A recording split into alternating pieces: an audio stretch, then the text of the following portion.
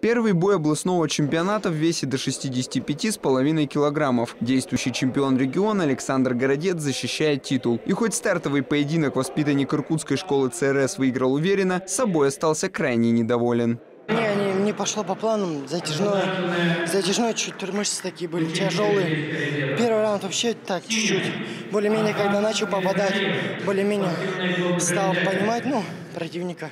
Более-менее получаться что-то началось. Но все равно недоволен работой. Очень медленно. Заставился противник был ниже уровнем.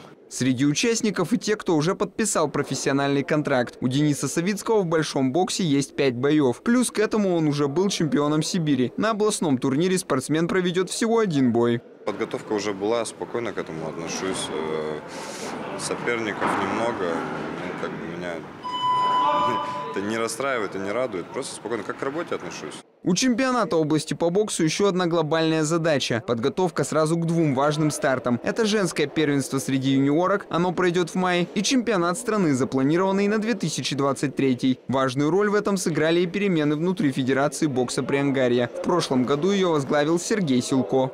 Хочется отметить, э, данный чемпионат области – это негласно старт к Олимпийским играм 2024 года ну, для нашей Иркутской области, потому что сейчас будет формироваться сборная команда, которая в дальнейшем будет представлять наш регион на всероссийских соревнованиях, а также уже будет проходить курс подготовки к э, чемпионату России 2023 года, который будет проходить в Иркутске и который будет отборочным к, к Олимпийским играм. Чемпионат Иркутской области будет идти до 19 января. В рамках турнира также пройдет матчевая встреча против спортсменов регионов из Забайкальского края. Александр Гаврилов, Юрий Рябчиков. Новости сейчас.